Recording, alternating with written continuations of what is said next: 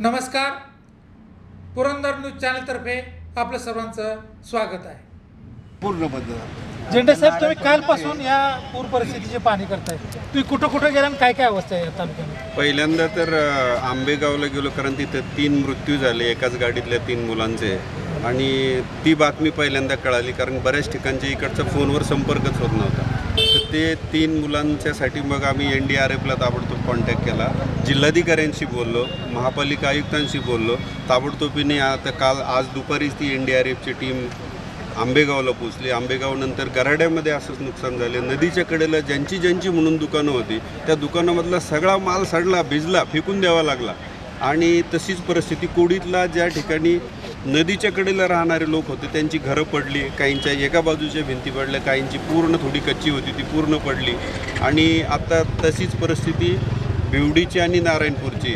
रामभाऊंनी सांगितले त्याप्रमाणे घरांची पट जडही झालेली नारायणपूरमध्ये. सगळ्या गावातल्या इंटरनल रोडला चार चार फूट पाणी होतं पण नारायणपूर आणि भिवडीत असं मोठ्या प्रमाणावर शेतीचं नुकसान झालं आहे आणि बिवडीला दोन मृत्यू झाले. ते कुटुंब म्हणजे उमाजी नायकांचे डायरेक्ट वंशज आहे. सहाव्या पिढीतले वंशज आहेत ते.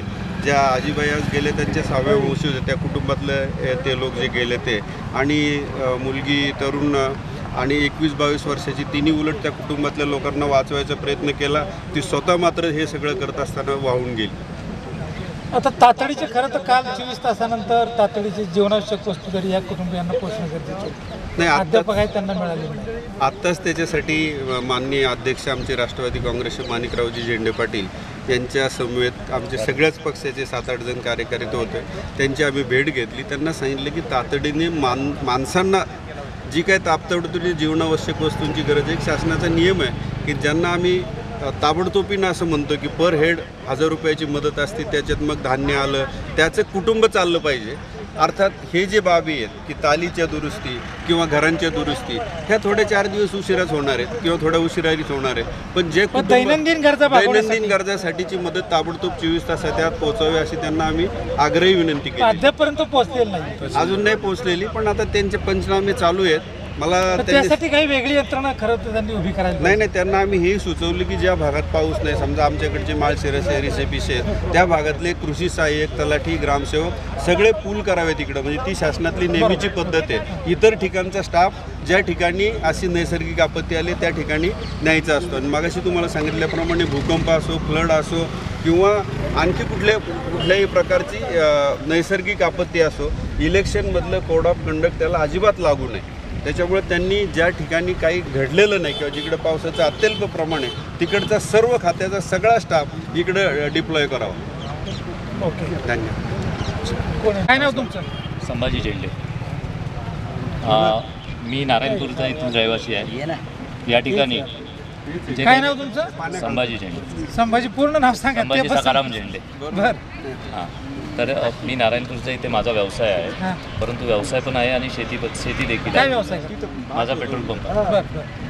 तर या ठिकाणी जो पाऊस झाला त्या पावसामध्ये बरेचसे शेतकऱ्याचं अतोनात नुकसान झालेलं आहे. आणि जी काही शेती होती किंवा जी काही भातखाचरं होती त्याच्यामध्ये जर पाहिलं तर आता सर्व निकृष्ट दर्जाची अशी माती तिथे राहिलेली आहे. आणि जे काही बांधबांधारे होते ते सगळे वाहून गेलेले आहेत. अशा परिस्थितीमध्ये प्रशासनाने तातडीने इकडे लक्ष घालावं अशी आमची सर्व गावकऱ्यांच्या वतीने आणि इथे असणाऱ्या स्थानिक जे काही आमचे जे आपदग्रस्त लोक आहेत यांच्या वतीने मी प्रशासनाला विनंती करू इच्छितो. त्याचबरोबर ज्या ज्या काही व्यावसायिकांचं काही नुकसान झालेलं असेल त्याही लोकांना त्यांनी मदतीचा हातभार करावा अशी मी प्रशासनाला विनंती करतो. आणि अशाच पद्धतीने इथे जे काही नुकसान झालेलं आहे त्याच्यामध्ये विविध पक्षांचे आणि विविध ठिकाणचे लोक त्यावेळेला पक्ष वगैरे सगळं बाजूला ठेवून सर्वप्रथम मदतीच्या ओघाने आणि सर्व ही आपत्कालीन परिस्थिती कशी कशी पूर्वपदावर येण्यासाठी या ठिकाणी उपस्थित राहिलेत. आणि याबद्दल मी नारायणपूरच्या जनतेच्या वतीने आणि सर्व सर्वांच्या वतीने मी त्यांचे आभार मानतो. मग अशी सांगायचं राहिलं तुम्हाला? आमच्याकडे जे शेतीत जाणारे दोन पूल आहेत शेतीत जाणारे दोन पूल आहेत. ते पूर्णपणे वाहून गेले. म्हणजे शेतात जाताच येत नाही आता. गावठाणातून जे बाहेर जाणारे दोन पूल असतात ते पूर्ण वाहून गेले काहीच राहील त्याला पर्यायच नाही आता. ते पूल बांधल्याशिवाय आम्ही पलीकडे जाऊ शकत नाही. तर त्याची पण तरतूद लवकर व्हावी असं आपल्या माध्यमातून शासनाला कळवावं. आपण गाव आणि गाव आणि शेती. आपलं काय नाव? मी याच्याशी संपर्क तुम्ही कुठल्या खात्यात आहे? पोलीस खात्यात तुम्ही काम केलंय. रहिवासी आहात. अशा आपत्कालीन परिस्थितीमध्ये पोलीस यंत्रणेची काय जबाबदारी राहते?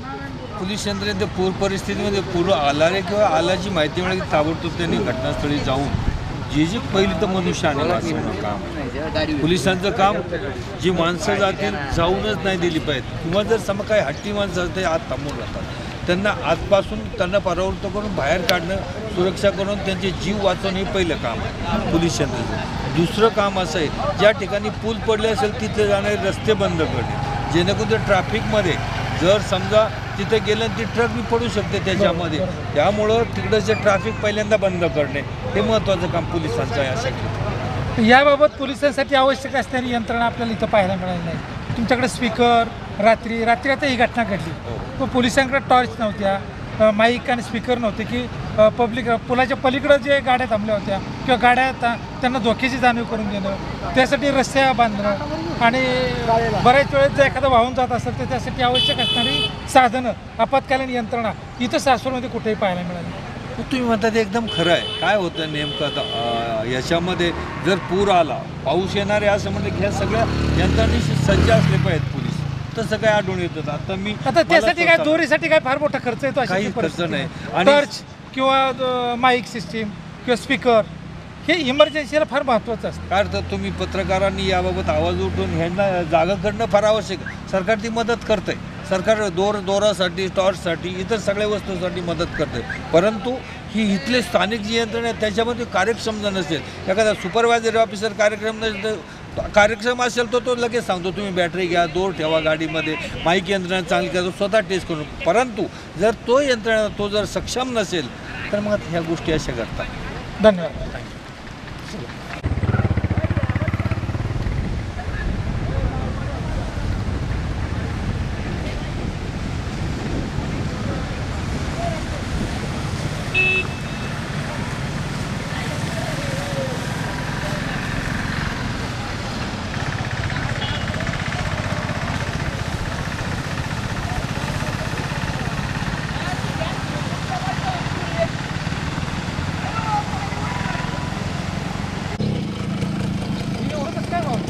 गावात तर लई तमाशा झाला आहे सगळा. गाड्यान बिड्यान वाहून गेल्यात लोकांची घर रस्ते सगळे शेवर ब्लॉक तिथं मोकळ्या पटांगणात मुलं कधी घेऊन काय? दोन मिनिट शांत. रेकॉर्ड होईल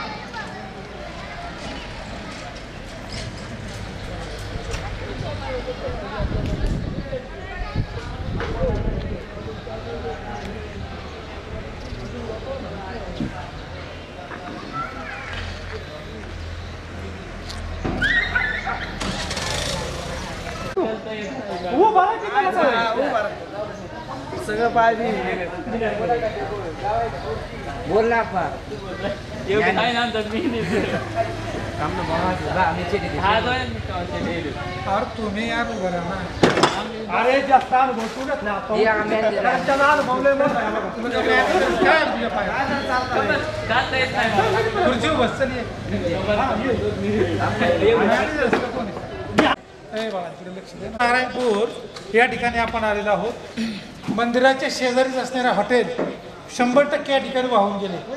त्याचे या ठिकाणी मालक आहेत. काय नाव तुमचं? दिगंबर क्षीरसागर. पूर्ण नाव काय तुमचं? दिगंबर भरत क्षीरसागर केवढं हॉटेल आहे तुमचं?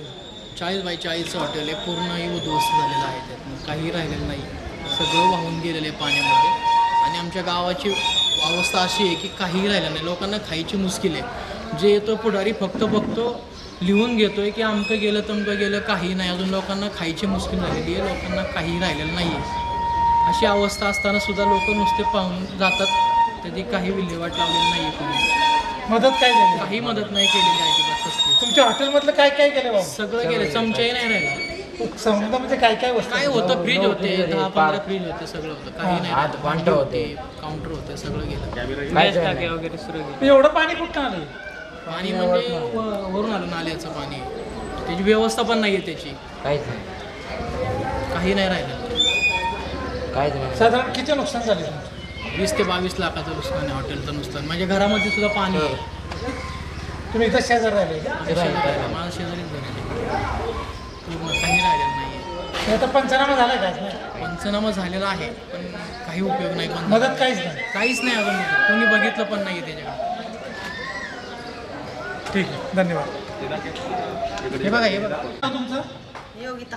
पूर्ण नाव सांगा. योगिता दिगंबर क्षीरसागर. तुमचं? अश्विनी सुनील क्षीरसागर. तुमचं काय नाव? मनीषा राजे शिर्के. तुमचं? जगताप. राणेश्वरी शिर्के.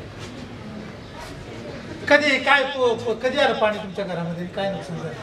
पावणे नऊ वाजता चालू झालं ते दीड परवा दिवशी रात्री? परवा दिवशी रात्री. बुधवारी. हां. पावणे नऊला चालू झालं ते दीड पावणे दोन पर्यंत चालू. होतं. काय घरात किती पाणी आलं? घरात पूर्ण म्हणजे इतकं डोक्यापर्यंतच पाणी होतं. डोक्यापर्यंत पाणी आलं. मग तुम्ही कुठं थांबलो आम्ही मंदिरात थांबलो होतो. मंदिर शेजारी. भैरोबाच्या मंदिरात. भैरोबाच्या मंदिरात. भैरोबाच्या सगळ्यांच्याच घरात एवढं पाणी आलं. सात फूट पाणी होतं सांगा की डायरेक्ट सात फूट होतं सात फूट. आता घरातलं काय काय नुकसान झालं? घरातलं पूर्ण म्हणजे कपडे हे सगळे पूर्ण खराब झाले सगळं काही राहिलेलं नाही. अन्नधान्य? अन्नधान्य सगळं काही राहिलेलं नाही. टीव्ही कपाटं बाकी सगळे इलेक्ट्रॉनिक सगळे सगळं सगळं नुकसान झालं. कपाट पडली होती पोरांचे सगळी खाली. पोरांची कपडे नाही पुस्तकं नाही शाळेची. डोक्यापर्यंत पाणी म्हणल्यानंतर काय राहणार आहे ना घरात? हॉटेलमध्ये सगळं वाहून गेलं. हॉटेल मधलं सगळं म्हणजे पूर्ण काही एक चमचा सुद्धा राहिलेलं नाही फ्रीज वगैरे सात फ्रीज गेले. सात फ्रीज ट्रॉल्या सगळ्या सगळ्या सगळं वाहून गेलं. आता चोवीस तास उलटून गेले. तुम्हाला काय कोणी मदत दिली काय? कोणी कोणीच आले मदत दिली नाही. कोणी फिरकले नाही. कुणी मदत फिरकलं नाही नाही. विचारायला तर यायला पाहिजे ना. कोणी झालेलं नाही. नुसतं यायचं म्हणजे जायचं, फोटो आले काढून विचारायला जायचं. आले पण तेवढ्या पुरतं म्हणजे तेवढंच होणार. मदत बा- काहीच बाकी केली काही नाही. विचारायला तर आले सगळे पण तेवढं बाकीचं काही नाही. आम्ही फक्त बाहेर आणून वडापाव वगैरे खातोय. कोण देते काय? माहीत. लोकं सकाळी प्रशासन आले. सकाळी सकाळी. नऊ वाजता प्रशासन. जेवण खावण्याची काहीच व्यवस्था काय- नाही. माणसं आम्हाला आणून. आमची घरची माणसं बाहेरचे आमचे पाहुणे फक्त पाहुण्यांनी दिले आम्हाला. बाकी कोणी दिलं नाही. अन्नधान्य बंद सगळं भिजले सगळं खराब सगळं- झाले सगळं-. खायची अ, मुश्किल झाली काही राहिलेलं नाही. छान खारी खारी वीस ते सगळ्यांनी बावीस आता लाखापर्यंत बसून- आमचं सगळं नुकसान कोराच्या. झालेलं आहे. केडी काय कोराच्या पेजेत लोक इथं खाऊन म्हणजे काय? काय? सकाळी स- आम्ही सगळ्यांनी खारी आणि चहा बसून खाल्ला. कोराच्या. तीन दिवस. दूध बी नाही. दूध दूध पण सुद्धा द्यायला नाहीये. कोराच्या. काय नाव तुमचं? दिगंबर बिनतारे तुमचं काय नाव? अभिमन्यू काळभोर काय परिस्थिती इथली? काय आता त्या महिला सांगतात ते खरं आहे का सर? अरे म्हणजे काय त्याला काय? प- हे पाहिजे का? पुरावा पाहिजे काय तुम्हाला? हा, हे सगळं आहे पुढं. पाणीच नव्हतं माणसाला इकडे माणूसच दिसत चिखल बाहेर घरात काढलाय काय राहिले ते? आमच्या घरात आता आम्ही मुलं जाऊ आमची पा- तीन दिवस झालं पुण्यामध्ये येतात मग रडून सांगायला पाहिजे काय मुलं तुम्हाला घाबरली यांचं शेजारी घरी. तीन वाजेपर्यंत आम्ही तिकडे होतो मंदिरामध्ये. काय फोन माहीत केला तर परिस्थिती म्हणायचं काय? आमच्या गावातल्या आम्हाला माणसाला इथं येता येत नव्हतं. तिकडनं. काल तिकडून येत नव्हतं. आता फोन केला कशा म्हणजे मोबाईलवर ते शंभर नंबरवर? आम्हाला वाटलं की मिळेल आम्हाला मदत पण काही मदत सुद्धा मिळाली नाही. कुणी कुणीच मदत केली नाही. काहीच कुणीच नाही. शंभर नंबरला फोन केलता का? केलता तर. तरी काहीच मदत नाही. काहीच नाही. सुरक्षित ठिकाणी जा एवढाच फक्त रिपोर्ट एक फक्त सुरक्षित ठिकाणी त्यांच्या जा आम्हाला काही आता पण सुरक्षित ठिकाणी नेणारा माणूस तर पाहिजे ना आम्हाला. तुम्ही सुरक्षित ठिकाणी जाणार कसं मग तेच सांगतो ना. मी एका मुलीच्या हाताला मदतीला- मदतीला आमच्याच माणसाने आम्हाला तिथं नेऊन ठेवलं. मग आमचाच जर माणूस तिथे तिथे गेला गेला असता काय झालं मालक असतं? वाहून गेला असतं तर काय केलं असतं? आ- आमच्याच जेवढीच माणसाने- अशीच एक मुलगी मदत करतानाच वाहून गेली हा मग तेच आमचं जर माणूस गेला असतं तर? काय केलं असतं? अजून परिस्थिती घरात बघा तशीच आहे अजून. आम्ही अजून हलवलं पण नाही. हलवलं सुद्धा नाही घरात. पलीकडे काढताच तसंच येत येतं. नाही. आमच्या मुलांच्या हॉटेलच्या मुलांनी मदत केली आम्हाला. काय पायाला किती पायाला लागलं? लागल्या? चौदा पंधरा टाके पंधरा पडले टाके त्या पडले. पोरांना. हॉटेलमध्ये काय चमचा राहिला नाही काय नाही. फ्रीज दहा दहा फ्रीज गेले असे. काय राहिले त्यात? अजून एवढे दहा केली लाखाचे म्हणजे म्हणजे वीस लाखाच्या वरती अं, हे झाले पा. परिस्थिती बेकारच झाली ना. हॅलो? बेकार म्हणजे नाही, नाही. आता तरी काय मदत मिळेल का आम्हाला? आणि जर आम्ही सुरक्षित काही गेलो नसतो तर सकाळचा दिवस हा पाहू शकलो नसतो कुणी. यांच्यातले सुद्धा आणि आमच्यातले सुद्धा. कोणीच बघितला नसता दिवस. दोन तासात म्हणजे काही आमचं पूर्ण गाव पाण्यामध्ये होतं. अजूनही कुणी गावाला कसलीही मदत नाही इथं. या नारायणपूर या प्रशासन ठिकाणी सग- प्रशासन काही नाही नुसतं बोलतात येतात आणि जातात. कसलीही कोणी मदत नाही नाही गावाला. गाव पूर्णपणे पाण्यामध्ये होतं. काही नव्हतं फक्त सेल्फी चालू फोटो फोटो चालू. काढणं बस बाकी याच्या व्यतिरिक्त गावात काही काय नाही मदत मिळाली आणि कोणाला? मोबाईल मदत कसलीच नाही. व्हायरल करायचे ते व्हिडिओ संपला विषय बाकी काय नाही यायचं फोटो प्रत्यक्ष काढायचे. मदत शून्य कुणीच काही नाही. काही पूर्ण आज म्हणजे सगळं गावावरती पाण्यात होतं गाव आमचं गावावरती पूर्ण संकट आलं असतानाही कुणीही डोकावलेलं नाही डोकं एवढं पाणी असताना माणसात काय राहणार आहे घरामध्ये काहीच नाही या नारायणपूरमधील दु- लोकांचं दुःख फक्त ऐकायला येतात. टुरिझम म्हणून लोक फोटो काढतात सेल्फी काढतात जातात. हे अतिशय दुःखदायक आणि वेदनादायक घटना आहेत प्रत्यक्षात या लोकांच्या मनातलं दुःख निवारण्यासाठी काहीच उपाययोजना काही अद्यापपर्यंत कोणी केलेली नाही. प्रशासनाने याची ताबडतोब दखल घेतली पाहिजे. धन्यवाद.